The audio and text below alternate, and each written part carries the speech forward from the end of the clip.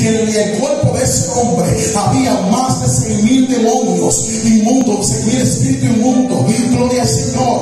Cuando ellos entendieron que llegó el fin de ellos en la vida de ese hombre, le dijeron, si nos echa fuera, envíanos a esa manada de cerdos. Jesús le dijo, vayan. Cuando los cerdos reciben los demonios, dice que todos cayeron por un precipicio y se ahogaron en el mar. Los dueños de los cerdos empezaron a llorar, empezaron a lamentarse, porque Jesús había ocasionado una pérdida económica en ellos. Y ellos despreciaron a Jesús. Ellos no entendieron quién era que estaba en esa ciudad. Ellos no entendieron que el que estaba ahí podía devolverle no seis mil cerdos, sino millones y millones de cerdos. Tampoco aprovecharon la oportunidad, pastora, para llevar a los enfermos a recibir sanidad, sino que inmediatamente le dijeron, vete de nuestra ciudad.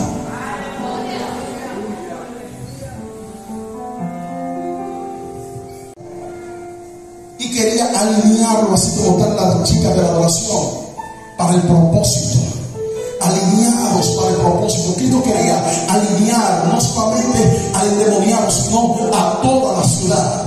Pero ellos se enfocaron en la pérdida económica que habían tenido. Cristo se sube en su barca cuando ellos le dicen que se vayan.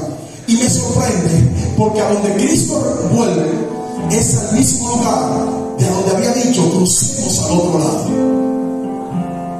Fíjense que cuando él retorna en el verso 40 del verso 8 de Lucas, dice, cuando volvió Jesús, le recibió la multitud con gozo, con gozo, porque todos le esperaban. Antes de irse de ese lugar, nadie sabía que ese era el Cristo. Cuando Jesús va a la ciudad del granero y vuelve, ellos esperan que Jesús en el camino reprendió los vientos y reprendió las aguas y le obedecieron. Se enteran que de aquel lado Jesús había libertado a quien provocaba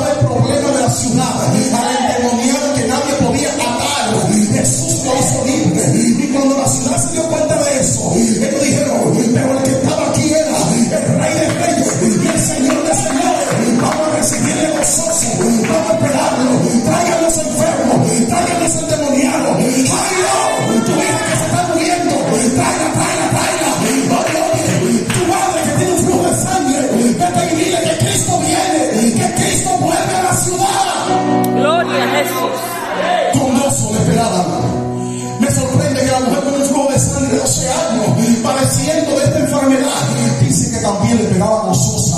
Jairo, que su hija se estaba muriendo, ya ese secó la lágrima y también le pegaba gozosa. Este gozo extraño que produce la venida de Cristo, este gozo extraño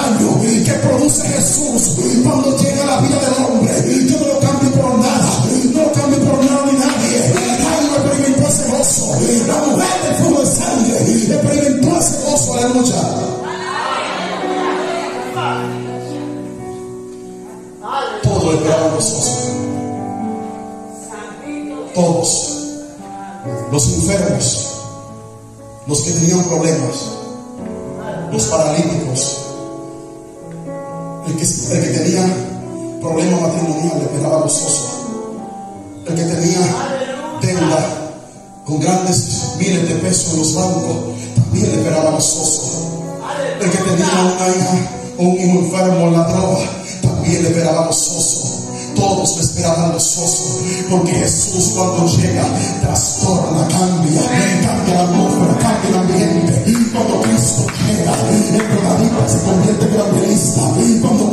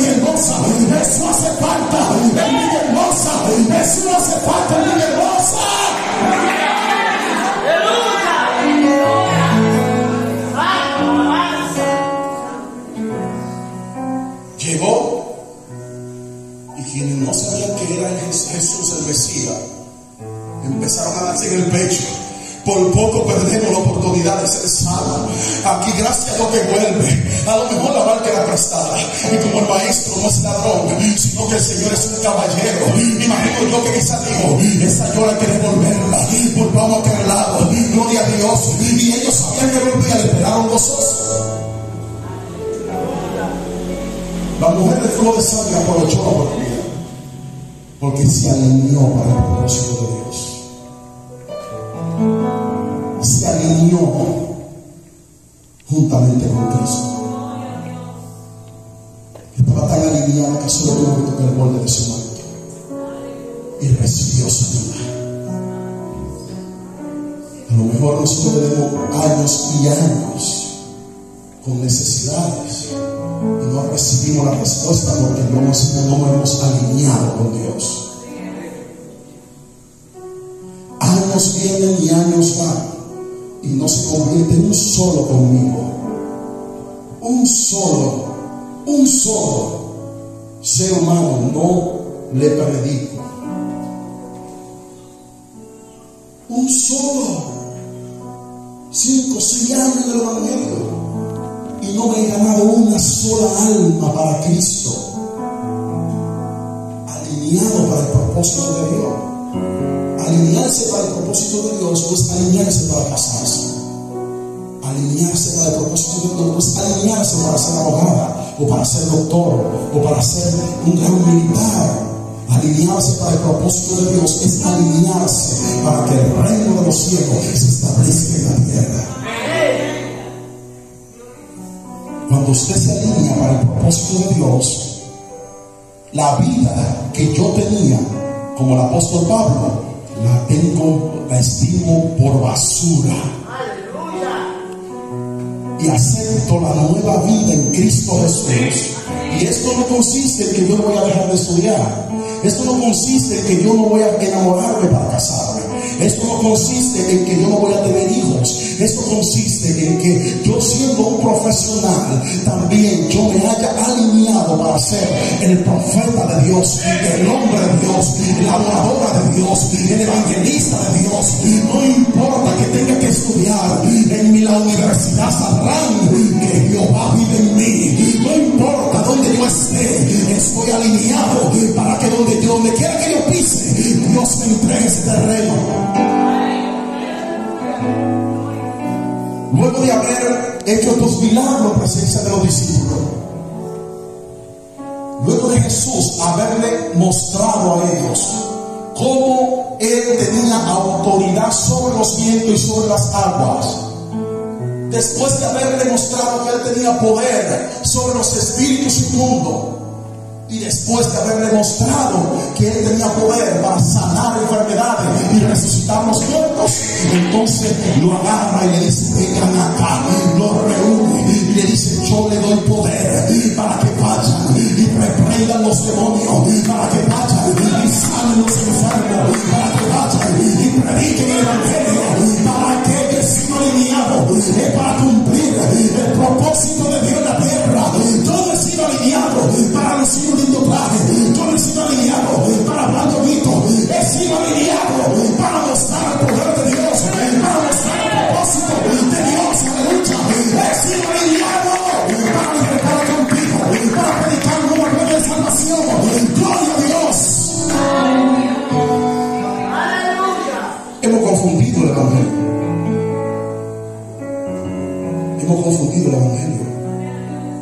Creemos que el Evangelio es no bebida, no alcohol, no prostitución, no droga, amor escondido, que el pastor no se me cuenta. Cuando llega el tiempo me caso, voy a la iglesia, adoro un chin, me voy para mi casa, voy para el trabajo. Y ese es el evangelio de muchos de hoy.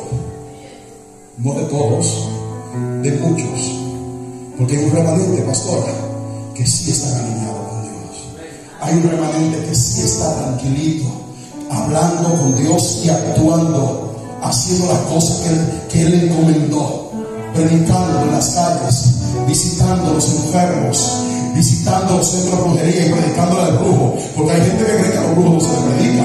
Usted entra al centro de brujería como entrar a la clínica, conoce el nombre del Señor y entra y dice, yo quiero hablar con usted. No le cliente con su vida, entra disfrazado. Él no le va a decir que no. Él se va a sentar y lo va a escuchar. Preséntele a Cristo. Preséntele a Cristo. No sabe si el Señor está esperando que usted vaya y le predique.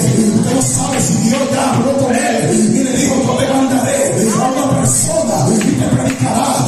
Cuando hacer algo para Dios, hazlo según tu fuerza. Hazlo, hazlo, hazlo, hazlo. Porque Dios te ha alineado para su propósito. Hace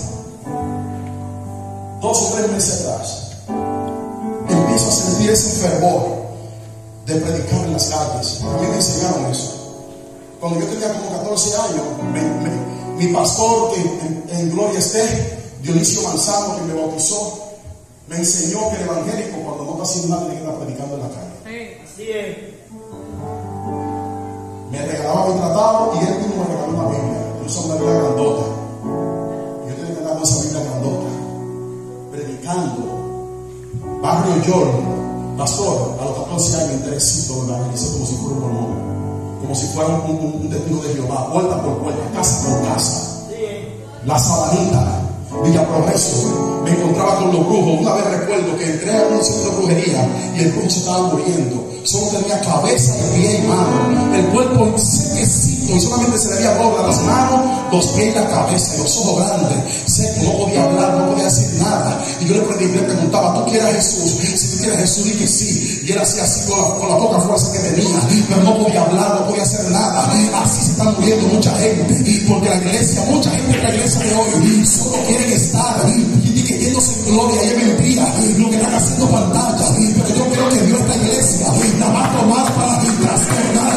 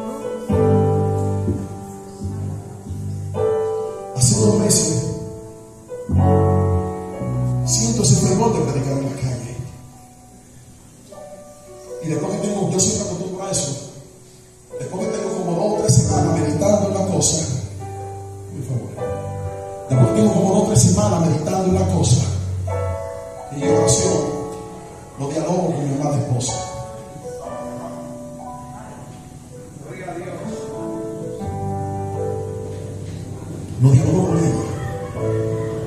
Y le digo,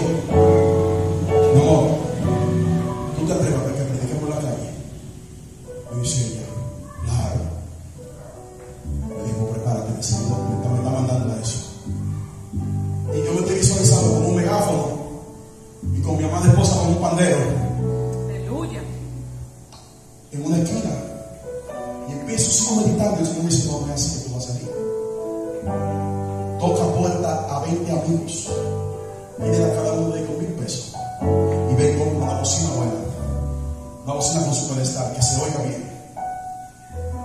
Y cuando hago la lista,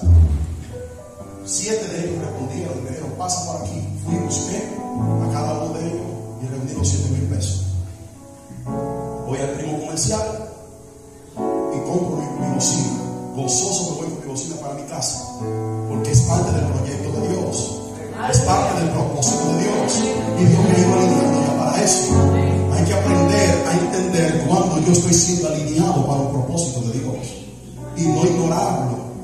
Es posible que esto Dios se lo esté diciendo a usted por más de 15 años y hoy vuelve y se lo repita y usted no ha entendido. Cuando compramos la bocina, la bocina ya tiene dos semanas en la casa y no se a predicar, pastor.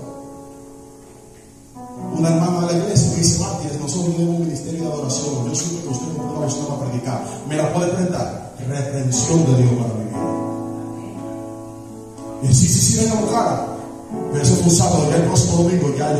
la calle. Y empezamos.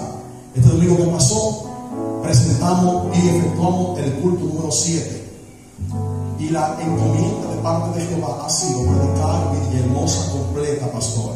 Los 83 barrios del municipio se deben predicar. Este domingo terminamos allá en, los cocos de Villahermosa, por allá arriba. Y el día 5, domingo 5, frente al cuartel de la policía, se le va a predicar un mensaje a la policía.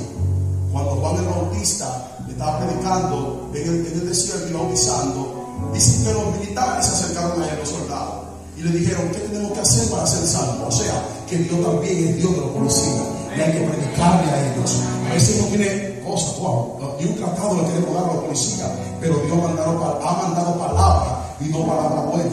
Dios ha dado palabra para que se le predique al aire libre. El pastor me quiere acompañar, que me acompañe, pero si me meten preso. Pero el mensaje se le va a dar, el mensaje se le va a predicar sin temor, solo con el amor y la autoridad que Dios me ha dado, le predicaremos a los policías.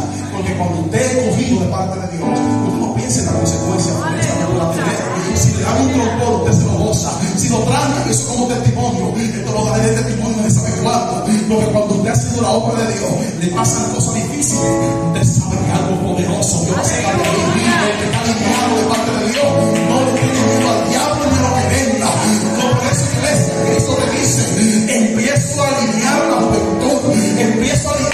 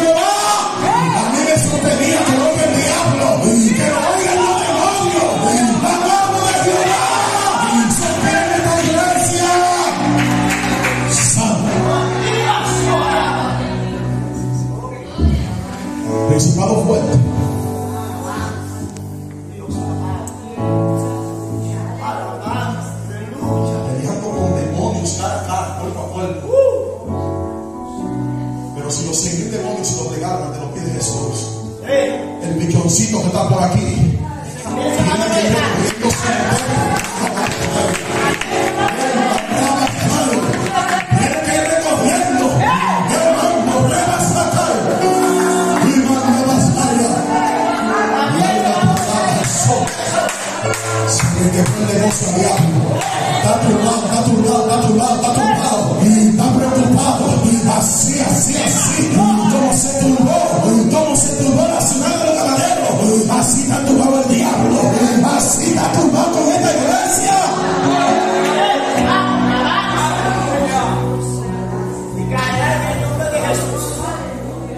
No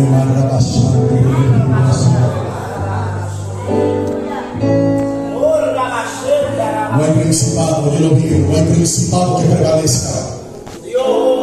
No hay destreza que prevalezca contra la juventud de esta iglesia. No hay enviación, no hay enviación, no hay tentaciones que prevalezca contra la juventud de esta iglesia. Porque han sido alineados con el propósito Dios. Aleluya, ponte de pie, iglesia.